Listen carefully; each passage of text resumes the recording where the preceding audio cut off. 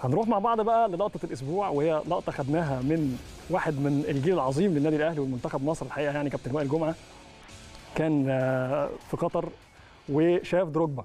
ديديه دروجبا طبعا إحنا كلنا عارفين الأسطورة أيضا الايفواريه ديديه دروجبا أحد أفيال المنتخب الكوتيفواري في عزه يعني.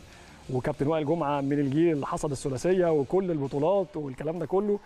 إنما هم كان بينهم هزار لذيذ جدا. كابتن وائل جمعة شاف دروجبا دروجبا بقى أقرع وكابتن وائل جمعة اللي دايما كان بيحلق شعره أقرع بقى بشعر فموضوع قلب بكوميديا كده. أنا وأنا بتفرج على اللقطة دي ضحكت قوي يعني. الاثنين اتعكسوا يعني. ديديه دروجبا كان دايما شعره طويل قوي كده ودايما كان ليه ستايل في الملعب وبتاع. وكابتن وائل جمعة كان دايما حالق راسه. مش يعني سبحان الله سبحان الله يعني مجرد ما بطلوا كابتن وائل جمعة من المدافعين اللي طبعا عقدت الراجل ده. يعني الاثنين دول كان بينهم منافسة في الملعب شرسة جدا. كابتن وائل جمعة تقريبا كان من ضمن عقد الراجل ده من ضمن عقد ديديه دروجبا. لكن بص بقى بره الكورة بقى. كابتن وائل جمعة طبعا شخصية من الشخصيات الكاريزما جدا والمحترمة جدا جدا خارج الملعب وجوه الملعب طبعا رغم إن هو لاعب فايتر ومقاتل دايما. إنما زي ما أنتم شايفين كده آه، الحالة بينهم كانت استثنائية جدا. والهزار على موضوع الشعر ده آه، كان جميل قوي يعني. آه، حاجة كده يعني ما بتحصلش غير لما يبقوا اتنين احترموا بعض في المنافسة.